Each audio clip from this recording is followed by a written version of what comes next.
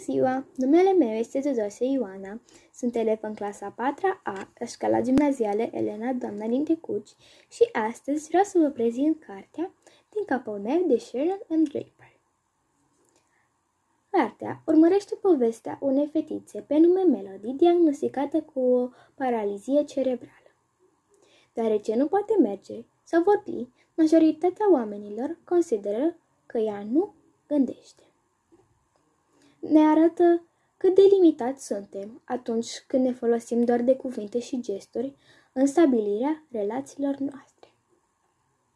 Melodii ne învață ori că oricât de descurajați și respinși suntem, nu înseamnă că nu putem să luptăm, să fim curajoși, să nu ne lăsăm bătuți atunci când nimeni nu crede că vom reuși să ne atingem scopurile.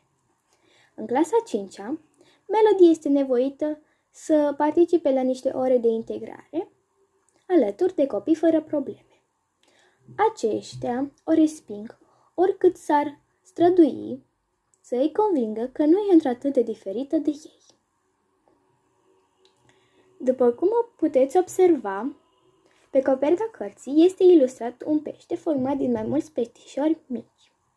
După lectura acestei cărți, am tras concluzia că acești peștișori sunt de fapt sentimentele și gândurile lui Melody care formează un pește. Și de ce un pește? Pentru că Melody se simte închisă în propriul ei trup, cum se simte închis un pește într-un acvariu.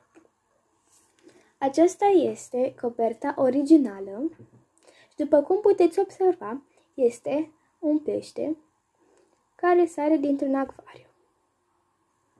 După ce o să citiți cartea, vă provoc pe voi să aflați de ce este un pește care sare dintr-un acvariu.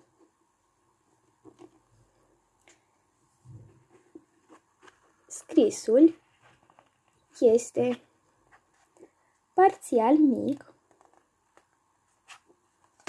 însă lipsa ilustrațiilor nu este o problemă pentru o carte atât de frumoasă și atractivă care poate fi citită la orice vârstă.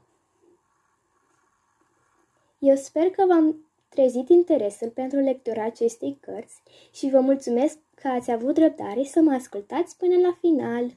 La revedere!